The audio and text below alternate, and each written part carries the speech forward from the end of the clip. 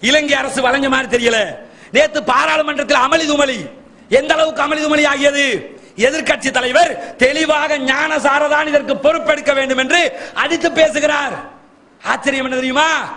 நம்ம நாட்டில் ஒரு பதினெட்டு ஜனாசாக்களை நாம பாராளுமன்றத்துக்கு அனுப்பி வச்சிருக்கிறோம். என்ன செஞ்சிருக்கிறோம்? பாராளுமன்றத்தில் பதினெட்டு ஜனாசாக்கள். விளங்குதா? ஏன்னா ஜனாசா தானே பேசாது. நம்மளோட ஜனாசாக்கள்ல நேத்து திடீர்னு ஒரு ஜனாசா அப்படி எலும்பி உட்கார்ந்துருச்சு. துப்புள்ளவர்களாக இருந்தால் ஒரு அறிக்கை போதும். அரசாங்கத்தை விட்டு வெளியேறுகிறோம் என்று ஒரு அறிக்கை விடுத்தால் அரசாங்கம் ஆத்தம் கண்டிருக்கும். ஆனா அதுக்கு தைரியம் இல்ல. ஏன்? நாம வெளியே போயிட்டோம்னா முன்னாடியும் பின்னாடியும் போறதுக்கு டிபெண்டர் இல்ல. முன்னாடியும் பின்னாடியும் ரெண்டு ஸ்காட் போகாது. பாதுகாப்பு இல்ல. நாளைக்கு நம்மளே வந்து அடிச்சுட்டாங்க உலமா சபை. அறிவித்தல் விடுக்கிறது. குனூத்து நாசிலா ஓதுங்கள். துவா கேளுங்கள்.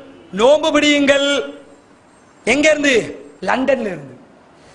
இந்த அறிக்கை ஸ்ரீலங்கால இருந்து வரல. தலைவர் லண்டன்ல. பாருங்க, வீடை மூடிட்டு பெண்கள் எல்லாம் பாதுகாப்பாக வீடுகளை மூடிக்கொண்டு துவா செய்யுங்கள். வழங்குதா கேவலம் கெட்ட தலைவர்களை கொண்ட ஒரு சமுதாயமாக இருக்கிறோம்.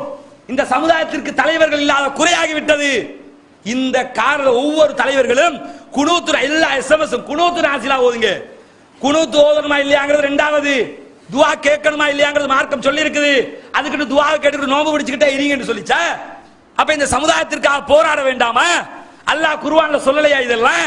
அப்ப என்ன நினைக்கிறோம்? நாம் உண்டு நம்ம பாடு உண்டு. எப்படியோ நம்மளை நாமளே பாதுகாத்துக்கிட்டா போதும்னு நினைக்கிறோம்.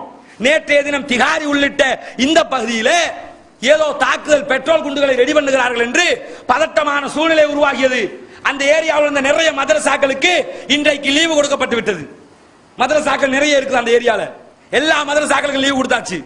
முஸ்லிம்கள் இன்றைக்கு பதட்டத்திலே இருக்கிறார்கள். அடுத்து திகாரியாக இருக்குமோ என்று நினைத்துக் கொண்டிருக்கிறார்கள். இன்றைக்கு ராஜகிரியிலே ஒரு வீடு எரிந்து கொண்டிருக்கிறது. தானாக எரிகிறதா? யாரும் எரித்தார்களா? இப்ப இப்ப எரிந்து கொண்டிருக்கிறது. நாடு பூராவும் பத்தி எரிகிறது. நேற்று மாவனல்லையிலே எப்படியாவது பிரச்சனையை உண்டாக்க வேண்டும் என்று குத்துக்கரணம் போட்டுக் கொண்டிருந்தார்கள். மாவனல்லையில் பிரச்சனையை உண்டாக்கிய அதே ஆள் தான் அலுத்கமையிலே பிரச்சனைக்கு சூஸ்திரதாரியாக இருந்திருக்கிறார். அலுத்கமையில பிரச்சனையை அங்க பத்த வச்சுட்டு மாவனல்லைய கொளுத்துறதுக்கு வந்து நிக்கிறான். அடுத்து பண்டாரவள போவாங்க. சுத்தி சுத்தி பேய்த்துட்டு எங்க வந்து முடியும்? கொழும்பின் புறக்கோட்டை பத்தி எரியும். ஏன் இப்படியே போனா?